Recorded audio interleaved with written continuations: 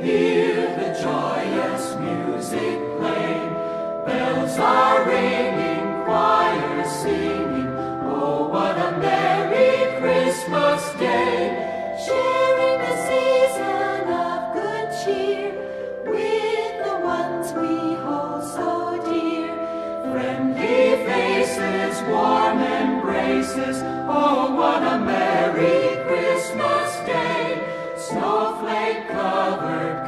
Country lanes, Jack Frost painted window panes, twinkling stars on Christmas trees. Oh, what happy memories gathered round the fireplace, families filled with love and grace.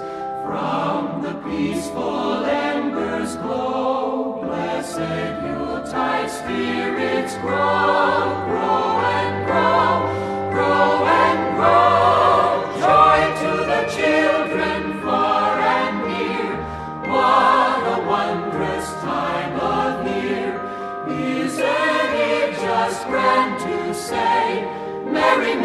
Merry, Merry Christmas, Merry, Merry Christmas, Merry, Merry Christmas. Oh, what a Merry Christmas.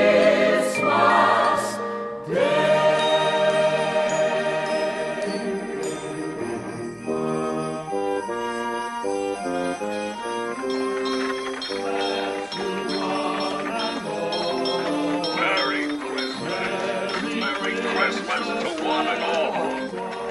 Give a penny for the poor, Governor. Penny for the poor.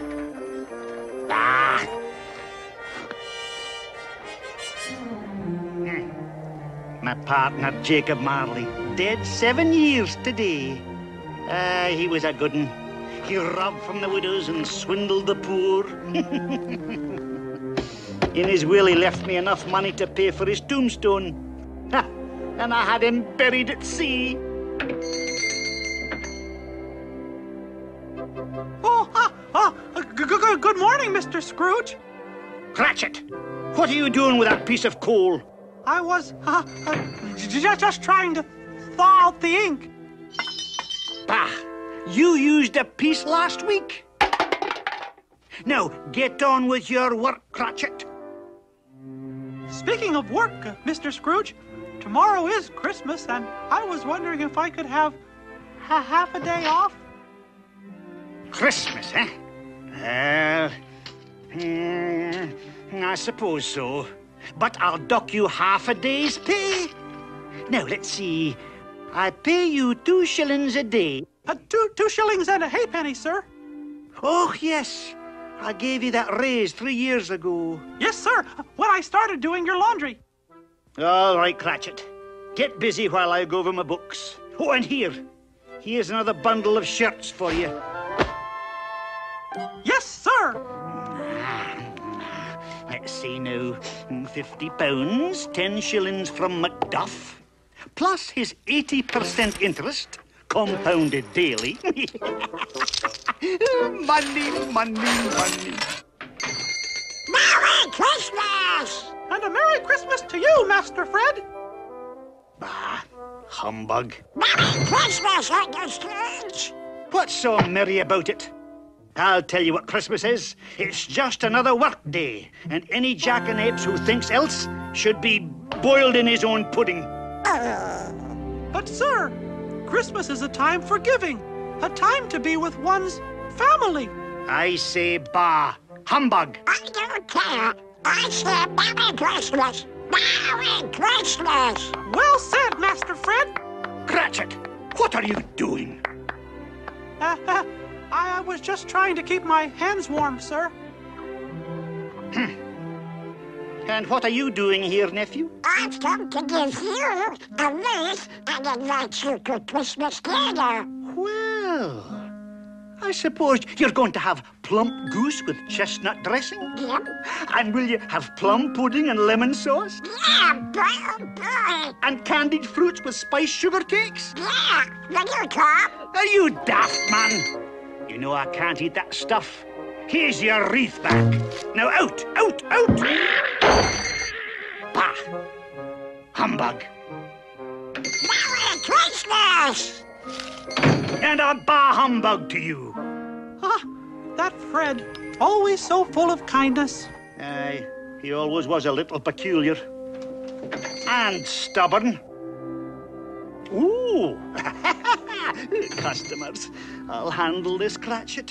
Hmm. Yes, what can I do for you two gentlemen? Sir, we are soliciting funds for the uh, indigent and destitute. For the what? We're collecting for the poor. Oh, aha. Well, um, you realize if you give money to the poor, they won't be poor anymore, will they? Well, uh, And if they're not poor anymore, then you won't have to raise money for them anymore. Well, I suppose. And if you don't have to raise money for them anymore, then you would be out of a job. Oh, please, gentlemen, don't ask me to put you out of a job, not on Christmas Eve. Oh, we wouldn't do that, Mr. Scrooge. Well, then, I suggest you give this to the poor and be gone.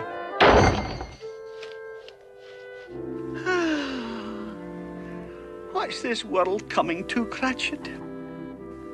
You work all your life to get money, and people want you to give it away.